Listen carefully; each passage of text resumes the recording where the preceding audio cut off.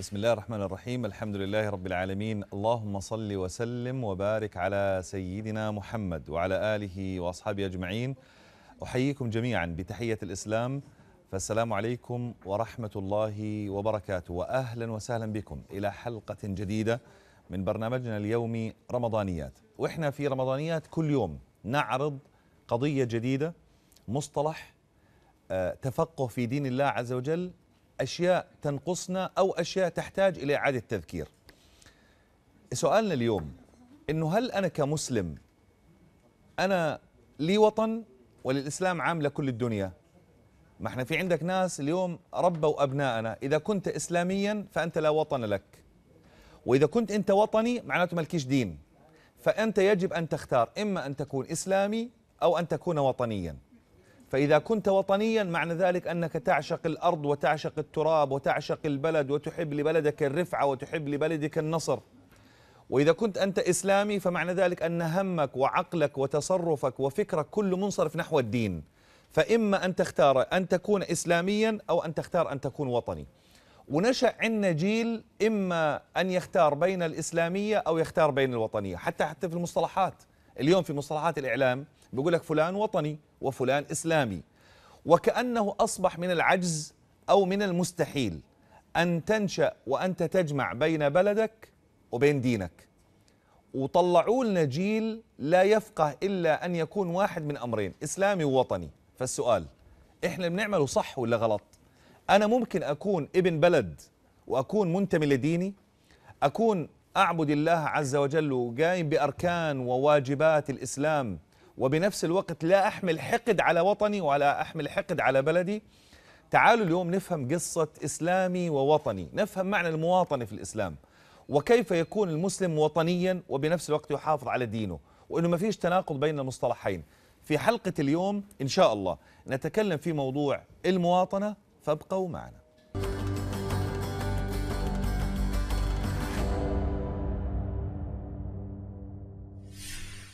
أهلا وسهلا بكم مرة أخرى وحلقتنا اليوم عن المواطنة عن مصطلح المواطنة وكيفية المواطنة واللي قاعدين بيعملوا لك تناقض بين وطنيتك وبين دينك وإسلامك.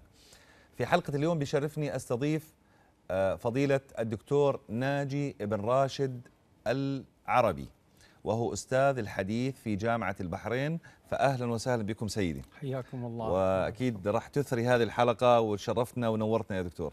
شكرا لكم شكرا لكم. دكتور الحبيب إحنا الآن الشباب اللي قاعدين ينشأوا وفضيلتك يعني مدرس في الجامعة وتختلط مع الشباب ومع الشابات. اليوم طالع عنا جيل هو في حيرة. عاطفته بتقول أنا بحب بلدي. عاطفته بتقول أنا خيري لازم يكون في بلدي. أحب إنه بلدي تنشأ بلدي تنمو بلدي تكبر. وبنفس الوقت هو قاعد بيسمع مصطلحات إنه لا أنت دينك إسلامك عقيدتك آه، ما نشأت عليه. فأصبح الجيل عايش بين صراعين هو أنا مع الوطن ولا أنا مع الدين. ومع الأسف أنه هذا المنهج يغذى. فأصبح الشاب اليوم ينشأ إما أن يكون إسلاميا أو أن يكون وطنيا. وكأنه لا يمكن أن ندمج ما بين الإسلام والوطن. من خلال خبرتك سيدي الكريم ومن خلال معرفتك بحديث النبي عليه الصلاة والسلام نحدد مفهوم المواطنة وهل هي تتناقض مع الدين؟ تفضل سيدي بسم الله الرحمن الرحيم الحمد لله رب العالمين وصلى الله على سيدنا ومولانا محمد وعلى آله وصحبه أجمعين آمين.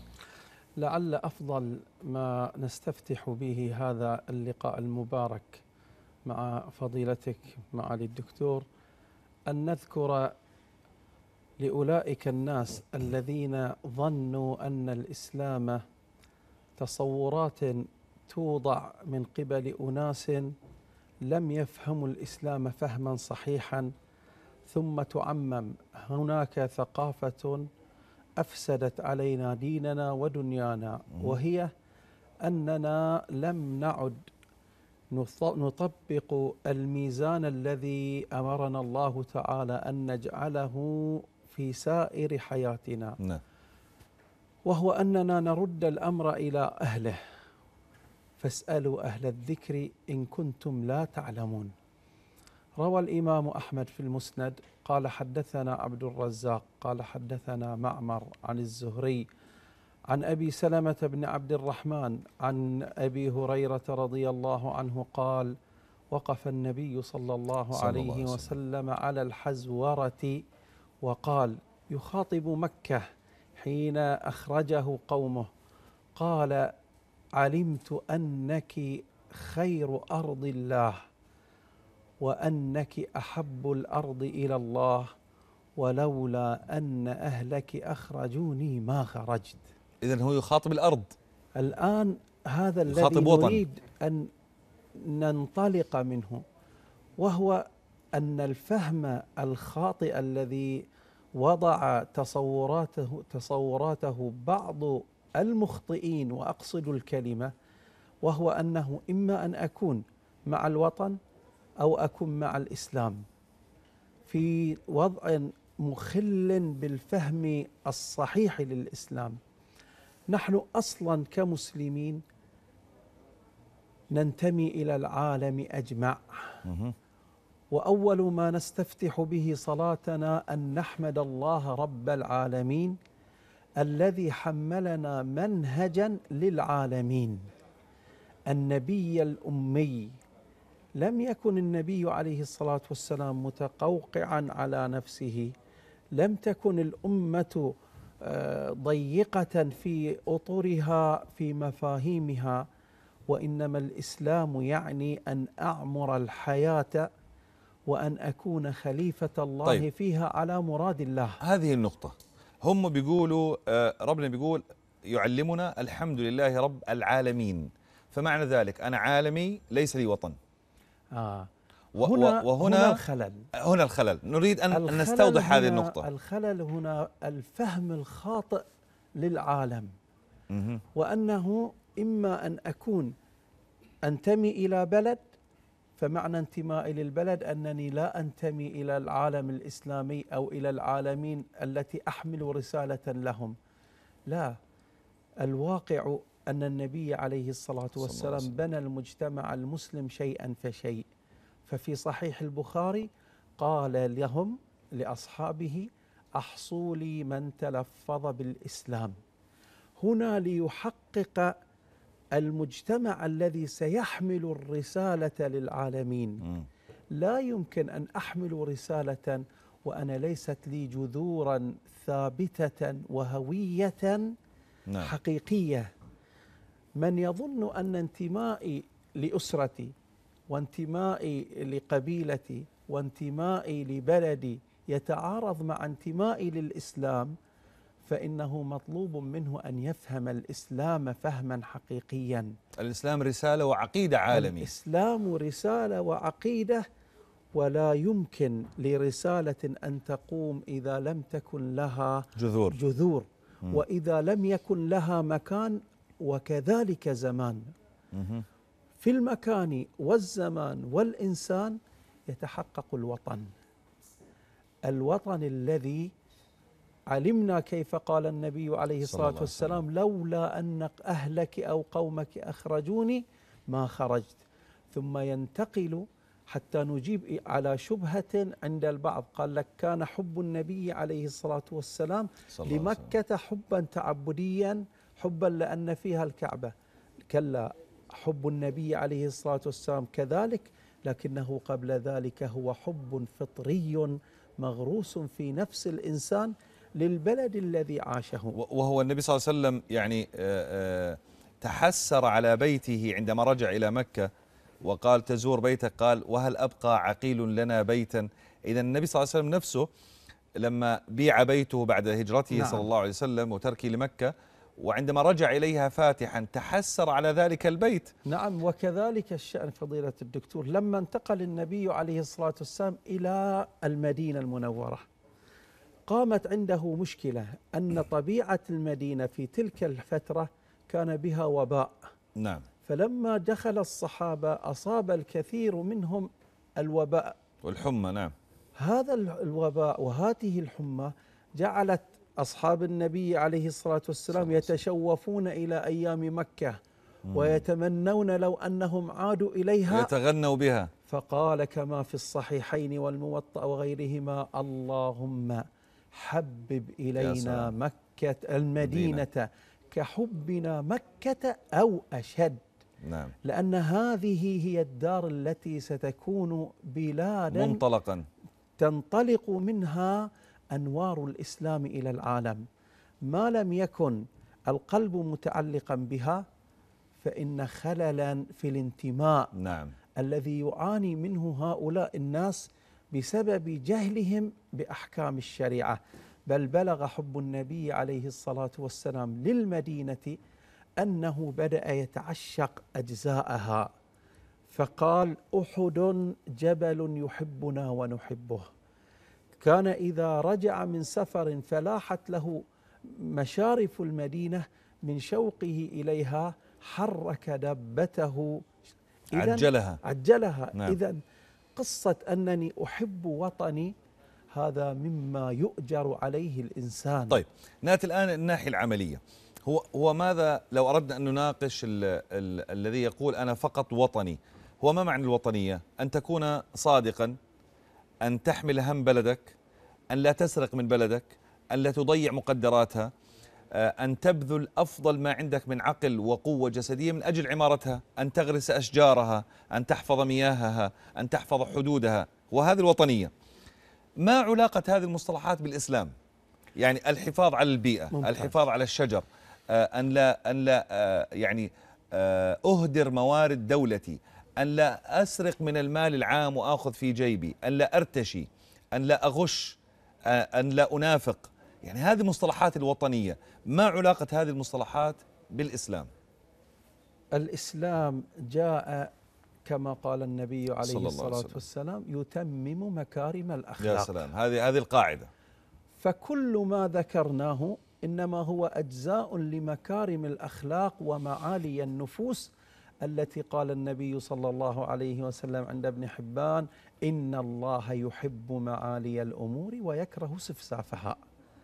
بل إنه صلوات الله وسلامه عليه علم أصحابه كيف تحرس الأوطان نعم. وأن هذه المسؤولية لا ينبغي لأحد أن يتقاعس منها أو يتقاعس عنها أو يركن في الاعتماد على قيامها على غيره ففي البخاري وغيره سمع أهل المدينة فزعة صرخ آخر الليل فخرج الصحابة الكل لأنه بناهم عليه الصلاة والسلام أن هذا البلد أمانة وأن هذا الوطن أمانة وأن الدين أمانة وأن الناس أمانة وأن موارد الأمة كلها أمانة.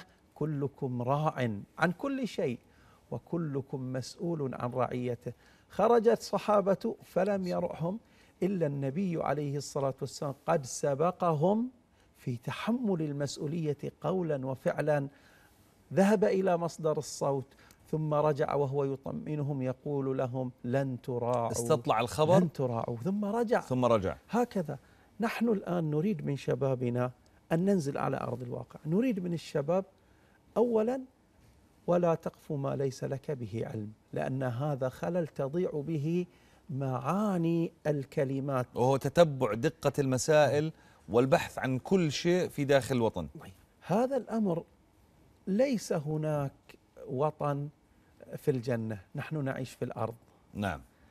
الواحد منا إذا أراد أن يبحث في نفسه وجد في نفسه أخطاء مستمرة معه سنوات وهو يحاول أن يتخلص منها. اذا البناء يكون شيئا فشيء والتصحيح يكون أيضا شيئا فشيء فالذي لا يستطاع إصلاحه جميعا لا يترك الخلل فيه يلعب دوره. الواقع المؤلم الذي نعيشه أن هناك من خرج يتسمى باسم الدين نعم. ويتكلم على أنه مبلغ عن رب العالمين في أحكامه والواقع أنه من أجهل الناس بشأن دينه ودنياه. فأوجدوا انفصالا في القيم والمفاهيم نعم. أنه إما أن أكون أنا منتمن إلى وطني أو أكون منتمن إلى الإسلام. وهذا الخطأ حتى رأينا للأسف حالات مزرية يمسك فيها بعض الشباب المغرر بهم جوازات دولهم ويمزقونها. ويمزقونها ويدوسونها بأقدامهم. وهل هكذا كان النبي عليه الصلاة والسلام يعلم أصحابه؟ وانظر إلى ذاك الذي تنظر إليه أنه مجموعة أخطاء مركبة انظر إليه بعين الإنصاف ستجد فيه. صفات كمال. إذا نحن أهل التدين والديانة نحن المتشرعين. أولى الناس بأن تتسع صدورنا إلى إخواننا أيا كانت أطيافهم. لأن هؤلاء سوف يسألنا الله عنهم قبل أن يسألهم. هذا الذي عنده الوطنية عنده ما, ما تبنى عليه قيم الإسلام. نعم. كون عند الحمية وعند الغيرة وعند الأمانة كثير من الناس يعني للأسف ربما لا يصلي لكنه مستحيل يأخذ فلسا من الدولة. نعم. وكثير ممن لبس ثوب الديانة للأسف لا يبالي كيف أخذ المال من هم حتى أكثر من ذلك. هم بعض الناس أصدروا فتاوى بجواز أخذ مال الدولة لأن الدولة كافرة. والدولة لا تحكم بما أنزل الله عز وجل فيجوز سرقة الماء والكهرباء ويجوز الاعتداء على أموالها بحجة أن الدولة لا تحكم بما أنزل الله عز وجل. لكن أنا الذي أريد أن أركز عليه أنه حتى الذين ينادون بالوطنية ويعشقون بلدانهم نحن نقدر فيهم هذه الصفة. لا شك. ولكن نقول لهم وأنت تحب وطنك أنت تحتاج إلى منهج في الحياة وأنت يجب أن لا يغيب عن بالك أنك غدا ستقف بين يدي الله ليسألك عن صلاتك وعن صومك وعن عبادتك وعن أمانتك. فأنت تحتاج إلى الدين. يعني لا يستغني الوطني عن الدين يعني يعني كما أن الإسلامي أو المتدين لا يستغني عن الوطن. نحن نريد يا مولانا أن ينكسر هذا الارتباط أنه إما دين أو دولة. نعم. إما إسلام أو وطنية. نحن نقول لا. الإسلام والوطنية شيئان تنظرهما وحقيقتهما شيء واحد. فالإسلام هو الذي يقول لك من مات دون ماله فهو شهيد. نعم. طيب كيف من حفظ الوطن؟ الوطن وكيف. بكم أيها الأحبة إذا استشعرتم قول النبي عليه الصلاة والسلام عينان لا تمسهما النار عين باتت تحرس في سبيل الله تحرس ماذا؟ تحرس من؟ أليست تحرس الوطن؟ نعم. أليست تحرس المواطن؟ طيب ما هو الإسلام؟ الإسلام هل هو شيء في الهواء؟ النظريات هو شيء, مجردة؟ شيء على أرض الواقع هذا الإسلام قد يتكون في دولة كما كانت الدولة الإسلامية سابقا هي تحت إمرة واحدة لكن هذه الإمرة في الواقع وحقيقة الأمر أقاليم. نعم. ما الفرق بين أن يكون إقليما أو مدينة أو تكون بلد؟ ما الفرق أن يكون حاكم يحكم الجميع وهناك ولاة دونه أو حكام يتكاملون كل يحكم بلد ثم تتكامل هذه الدول وحتى هذه الصورة لو لم تكن مكتملة ليس حجة لأحد أن يعتدي على بلده. لا شك نحن قلنا يا مولانا قلنا أن هناك ناجي وهناك أحمد وهناك علي وهناك أسماء وهناك غيرهم. كل هؤلاء أجزاء في الأمة. نعم. جميعهم يكونون الوطن ثم يزداد بعد الوطن فتكون الأمة. لكن لا ينبغي لأحد أن يرسخ إما أن تكون أمة إسلامية واحدة وإما دولا كافرة. هذا خطأ كبير. ومن قاله لم يقل نحن الآن سنكون أكثر صراحة. من ينظر هذا التنظير؟ نعم. ما هي مرجعيته؟ مرجعيته أناس عندهم انتماء إلى الإسلام لكن يفتقدون العلم. عنده عندهم عاطفة. حماس أيوة. عنده يملك عاطفة الدين لكنه ولا يملك المعلومة. هذا في الشريعة لا يجوز له أن يتكلم. م. حماسه وعاطفته ومحبته للإسلام شيء والعلم شيء آخر. م. الذي يحق له أيهما يضبط الآخر؟ أيهما لا أعلى من الآخر؟ لا شك أن الله تعالى أمر الجميع أن يرجع لأهل العلم. نعم. فاسألوا أهل العلم الذكر يعني أهل العلم.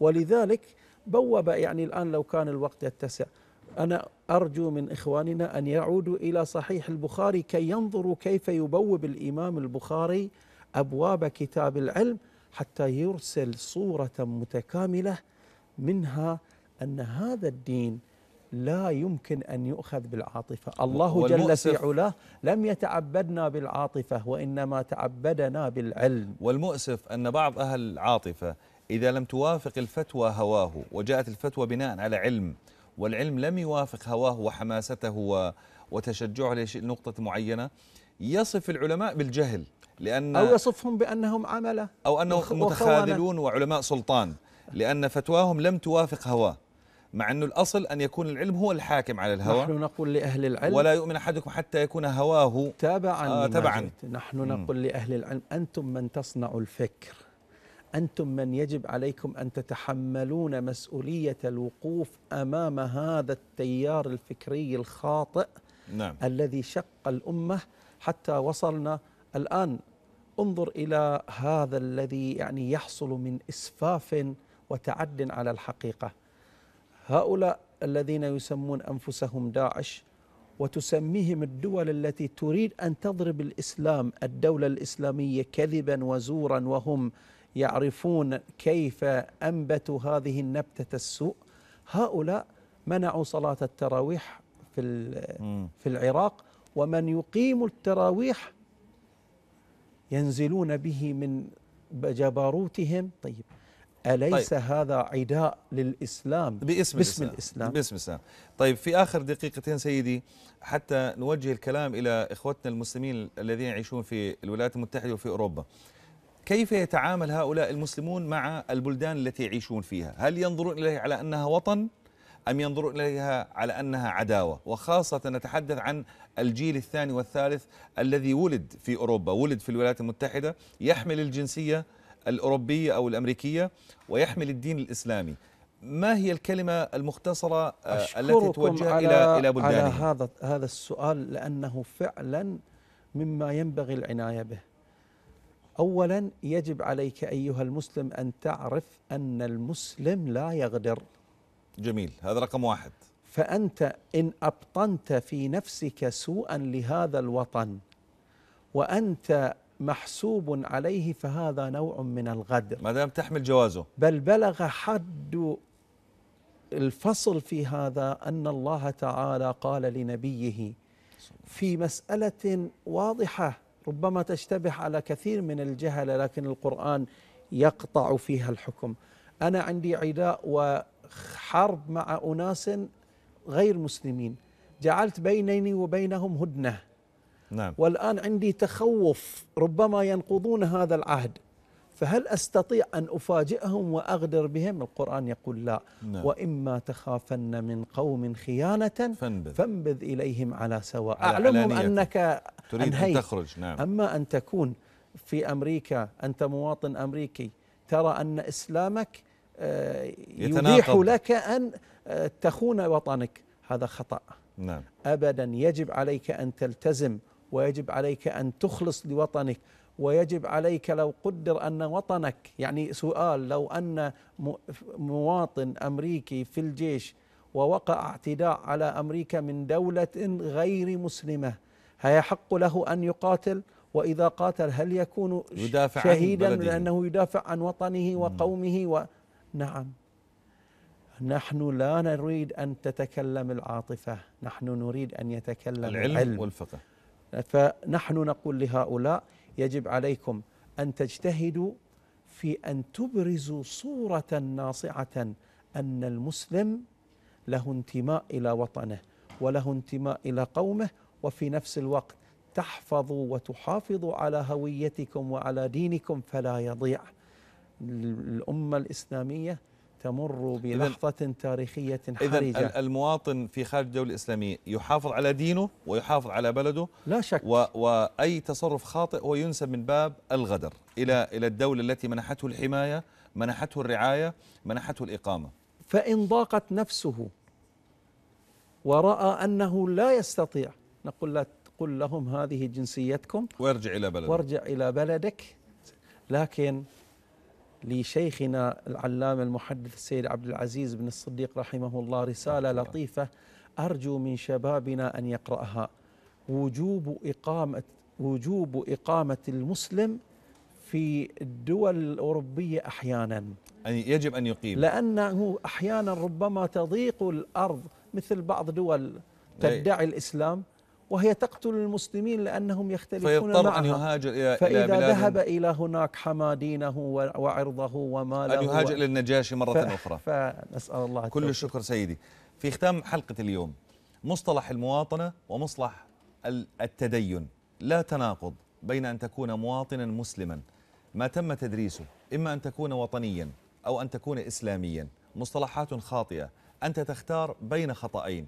إن كنت وطنيا فأنت تحتاج إلى دين ومنهج وإن كنت إسلاميا فأنت تحتاج إلى وطن يحميك ويضمك ويضم أسرتك وأملاكك. فليكن انتماؤك إلى دينك وإلى وطنك في وقت واحد.